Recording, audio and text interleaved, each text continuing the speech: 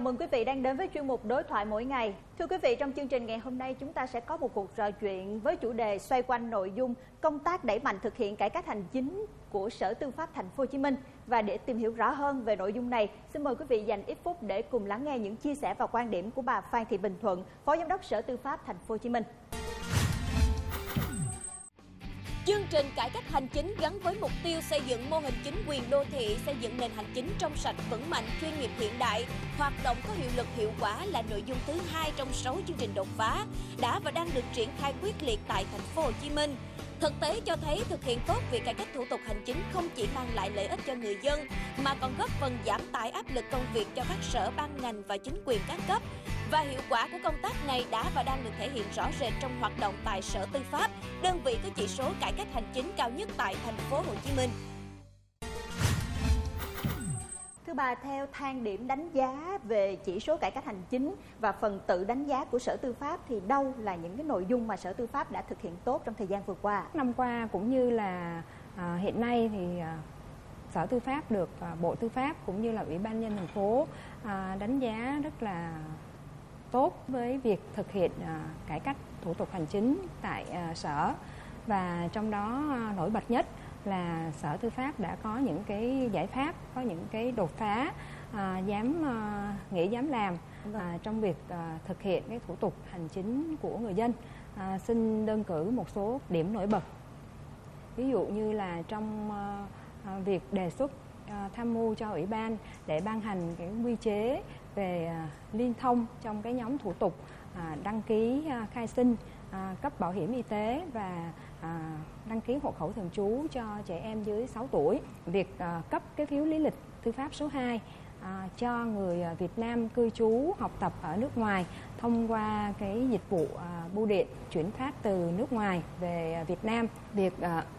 tiếp nhận và trả cái kết quả về lý lịch tư pháp cũng thông qua đường bưu điện và một cái nội dung nữa đó là việc thực hiện à, tin nhắn thông báo về cái à, kết quả lý lịch tư pháp cũng như là thông báo à, xin lỗi khi mà hồ sơ bị trễ hẹn vâng. thông qua cái tổng đài điện thoại. Bà có thể chia sẻ rõ hơn về những cái thuận lợi và khó khăn trong thực hiện cải cách hành chính không ạ? Về cái thuận lợi thì đó là cái sự quan tâm chỉ đạo sát sao và sự tin tưởng của ờ, lãnh đạo Bộ Tư pháp, Ủy ban nhân thành phố khi mà đồng ý cho Sở Tư pháp được thực hiện các cái bước đột phá ờ, những cái ờ, cải tiến trong việc thực hiện cái thủ tục hành chính. Và một cái thuận lợi nữa đó là cái sự quyết tâm của đảng ủy, của ban giám đốc sở cũng như là à, của cán bộ à, nhân viên à, sở tư pháp ứng dụng các cái giải pháp để mà giải quyết cái thủ tục hành chính cho người dân. Bên cạnh những cái thuận lợi thì nó cũng à, sẽ có những cái khó khăn. Ví dụ như là hiện nay cũng còn một số các cái quy định pháp luật à, liên quan à, cũng chưa có cụ thể rõ ràng hoặc là còn có sự à, trồng chéo không thống nhất hoặc là cái thủ tục hành chính chưa được à, công bố kịp thời à, dẫn đến là cũng gây khó khăn trong cái quá trình triển khai thực hiện. Thời gian mà để đi xác minh tại à, các cái cơ quan à, liên quan à, cũng còn kéo dài, dẫn đến là cũng còn có cái tình trạng là hồ sơ trễ hẹn. Và một cái vấn đề nữa cũng phải thừa nhận là cũng có đôi lúc là cán bộ, công chức khi mà tiếp nhận giải quyết hồ sơ hành chính cho người dân thì cũng chưa có một cái thái độ nó nhiệt tình để mà hướng dẫn tận tình cụ thể cho người dân à, trong cái việc mà thực hiện thủ tục hành chính. Vâng thưa bà, theo góc nhìn của bà, theo quan điểm của bà thì đến ngay tại thời điểm này thì chúng ta vẫn còn những cái hạn chế tồn động nào mà cần khắc phục ngay ạ? À? hạn chế à, tồn động mà cần khắc phục ngay thì à, đó là cái hồ sơ trễ hẹn cho người dân phải có cái giải pháp cho cái à, vấn đề này mà một trong những cái nguyên nhân dẫn đến trễ hẹn đó là cái việc mà kéo dài cái thời gian xác minh à, tại các cái cơ quan có thẩm quyền liên quan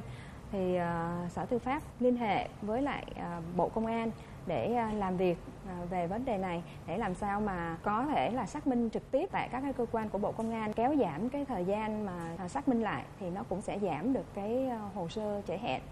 Hoặc là về cái việc à, ứng dụng cái công nghệ thông tin thực hiện cái việc mà à, chuyển giao à, hồ sơ à, áp dụng cái dịch vụ ừ, công à, trực tuyến cấp độ 3 vâng. để mà rút ngắn được cái thời gian à, đi lại các cái chi phí cho người dân trong việc thực hiện thủ tục hành chính. Vâng thưa bà, chúng ta có thể nhìn nhận rằng là cái công tác mà đẩy mạnh cái việc thay đổi và cải cách trong công tác cải cách hành chính á, thì mục tiêu cuối cùng của chúng ta đó là để nâng cao chỉ số hài lòng của người dân, làm hài lòng người dân hơn trong công tác thủ tục hành chính. Vậy thì về phía Sở Tư pháp đánh giá về nội dung này như thế nào ạ? Để mà nâng cao cái chỉ số hài lòng của người dân thì ờ, Sở Tư pháp cũng đưa ra một cái slogan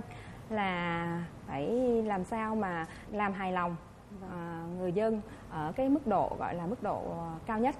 khi mà đến sở tư pháp làm các cái thủ tục hành chính. Và sở tư pháp thì cũng đang thực hiện cái quy trình ISO